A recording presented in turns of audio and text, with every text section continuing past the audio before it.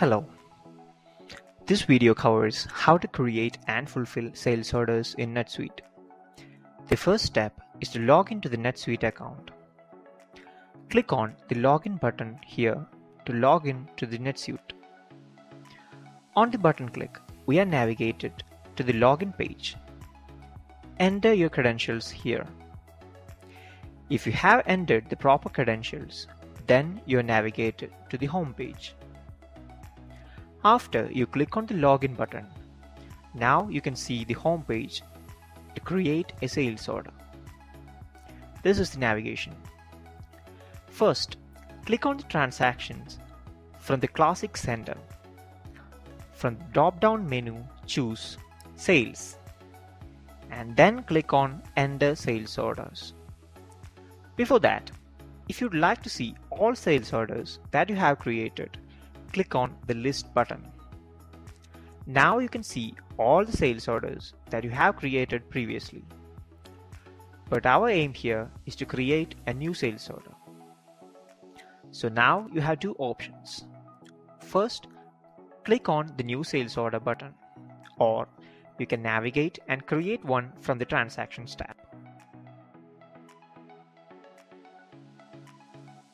This is the sales order page. In order to create a new sales order, you are required to enter data into all the mandatory fields marked by the asterisk. Without entering data into these fields, you won't be able to create a sales order. Choose your preferred type of sales order form by selecting the custom form. With the help of a custom form, you are able to decide which fields needs to be included and which fields needs to be excluded. After selecting the desired form, now you can select the customer. You can choose the customer through the customer field.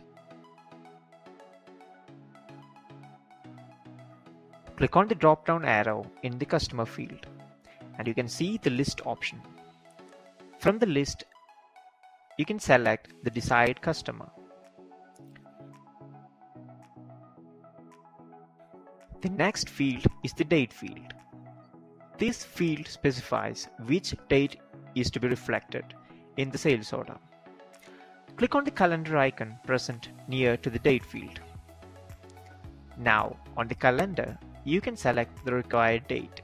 So now you can see the status field and it displays that our sales order is still pending. This simply means that we don't have approval from the management. So now you can change the status from pending fulfillment to pending approval from the drop-down. Now, if there is a date or end date, you can add it in these respective fields or if the sales order contains any purchase order, you can enter the purchase order number here in the purchase order field. You can also enter any information about the sales or sales order in the memo field. Below the primary information tab, you can see the sales information tab.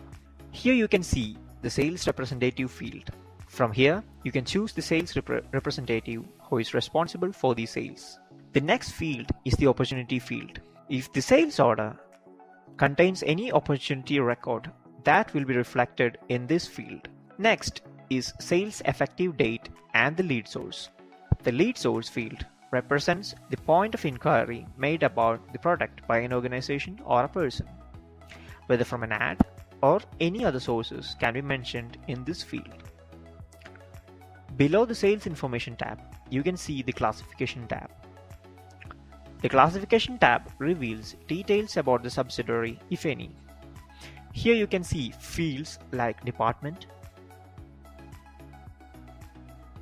deposit percentage, class, and location. But let's move on to the Items tab below the Classification tab. The important thing to note here is to select the item from the Items sub tab below. So here you can click on the drop down arrow button and select one item from the list.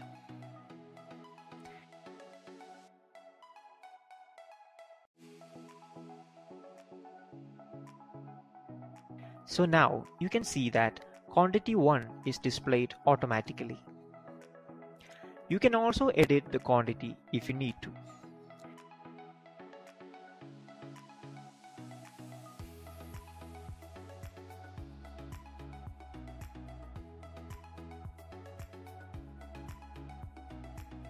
And you're also able to edit the amount field. So after entering all the necessary information in the column field, just click on the add button. Now you can see that we have entered data into all the necessary fields. Now you can click on the save button to save all the data. After saving the sales order, you can see the confirmation message notification. In this page, you can see approve button, edit button and back button. If you want to edit the sales order, just click on the edit button. And if you want to cancel the sales order, click on the cancel order button. And if you want to deposit some amount before the sales, just click on the create deposit button. Currently, the sales order status is pending approval. Take another look at the sales order and check whether all items are updated and fields are updated.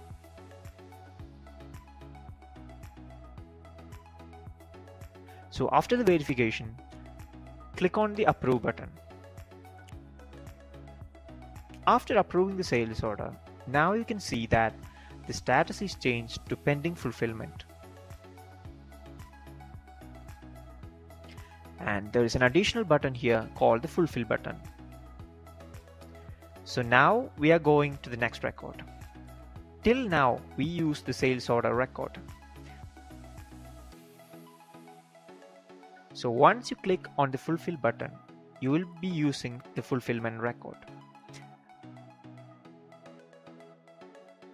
So here we can see the status is changed to picked also, here you can see the item details, quantity, customer name, sales order number and more.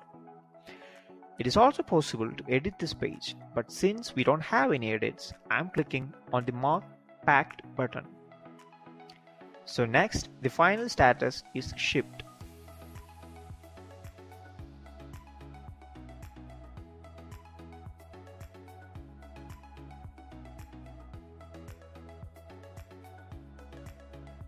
In order to set the status, I'm clicking on Mark Shipped button. And finally, our item is shipped. Now you can see that the status has changed to shipped. This is the item fulfillment page. Here we can see the sales order number link. The user is able to navigate to the sales page by clicking on this link and also can find out the customer name here. Just below the page in item subtab, we can see the item name and the quantity of the item. The user is able to change the quantity here.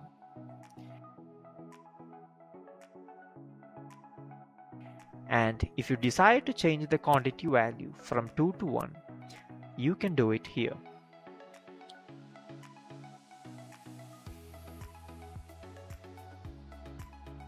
Now you can see that the item fulfillment status is in picked status. You can also change the status if required. But now I'm selecting the picked status. Next, I'm selecting the location. After selecting a location, now I'm selecting the inventory details field.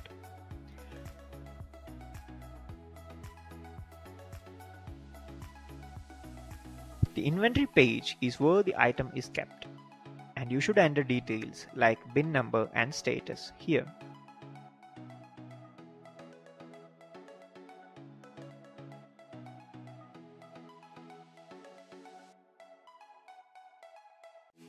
After giving the inventory details, just go for the save button.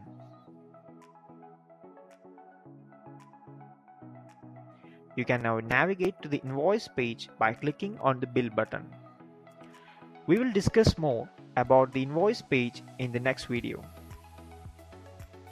Now we will learn more about the sales order and item fulfillment. By clicking on the sales order link, the user is able to go to the sales page. Here we have got the sales order record. Scroll down and click on the related records to find the item fulfillment record. By clicking on this link, you are able to go to the item fulfillment record. Here we can see that the status of the item fulfillment is changed to shipped. If you would like to check the status of sales order, click on the list of sales order page. And as you can see, the first invoice created is ours. Also, you can see that the status is pending billing. Thank you. Make the right choice, opt for NetSuite. Jobin and Jismi IT Services is an Oracle NetSuite Alliance partner with more than 8 years of service in the industry. Connect with us to know more about NetSuite. Thank you.